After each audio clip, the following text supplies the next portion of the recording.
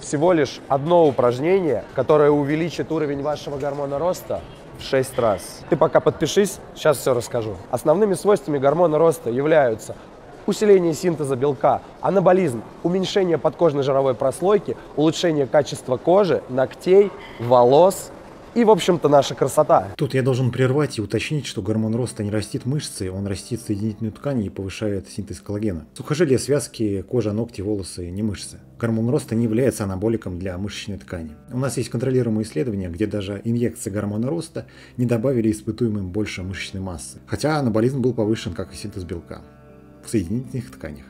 Насчет сжигания жира. Науке до сих пор неизвестно, могут ли манипуляции с вашими естественными выбросами гормона роста увеличивать жиросжигание. Однако инъекции гормона роста усиливали сжигание жира у людей с нехваткой гормона роста. Тут я так скажу, если вы продолжите жрать, похудение не ждите даже от инъекций гормона роста, не то что от спринтов.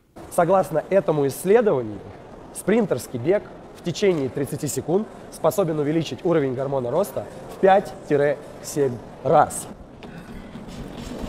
8 спринтов по 30 секунд с паузой, полторы минуты между ними помогут вам увеличить кратно ваш уровень гормона роста. Абсолютно любая физическая активность ведет к увеличению выработки гормона роста. Чем больше мышц вовлечено в работу и чем она более интенсивная, тем больше гормона роста вырабатывается. Так что спринты это не панацея. Ничего против спринта не имею, но вы можете просто тренироваться в спортзале и у вас будет повышен гормон роста. И, кстати, сам факт похудения, то есть дефицит калорий, если у вас есть лишний вес, также повышает ваш гормон роста.